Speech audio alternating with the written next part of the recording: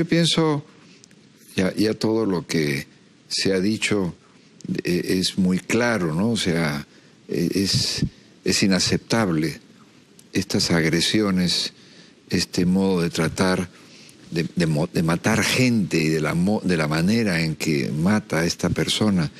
Pero hoy yo creo que el alma me lleva a decir, rezo por ella, acompaño a la familia y realmente pido para que eh, el Perú y, la sociedad y la seguridad pública, la educación, yo siempre insisto, en la familia hay que reforzar las cosas, pero una tragedia, una tragedia sumamente dolorosa, no solo por el hecho, sino por la forma.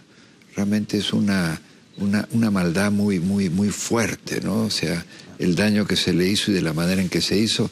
Por eso, Avi, desde aquí estaremos rezando por ti, por tu alma, por tu familia, para que no se repita esto nunca más.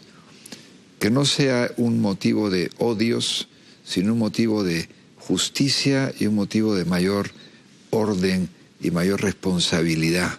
Estas cosas no pueden ocurrir. Esto es lo que me parece a mí que es muy fuerte. Sí, hoy hablamos con el abogado del, del, en este caso el homicida, y el mismo abogado decía que él pensaba que su cliente merecía la cadena perpetua por la gravedad del daño. Sí. Y claro, hay que pensar justamente en lo que es la reacción posterior, pero como siempre se ha dicho, hay que pensar dónde comienza esto, ¿no? Sí, sí, no, no, muy, muy, muy, muy duro, muy fuerte, y la verdad...